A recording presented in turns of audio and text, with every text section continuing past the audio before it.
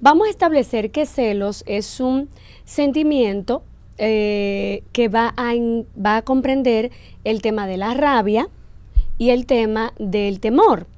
Básicamente los celos están compuestos de estos dos sentimientos, rabia y temor. Rabia porque algo o alguien está desplazando mi lugar de la vida de mi pareja o de cualquier persona que a mí me importe, señores, porque las amigas se celan, se celan los padres, se celan los hermanos, se celan inclusive hasta los puestos eh, de, de, lugar. No, yo voy ahí. Si Ana se siente, entonces ya yo me siento celosa porque se lo dieron a Ana.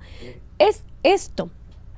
Es esa rabia de que algo o alguien está quitándome del lugar que yo merezco, del lugar donde yo pertenezco. Y mi pareja, para llevarlo al término pareja, está teniendo su mirada hacia algo diferente que no soy yo.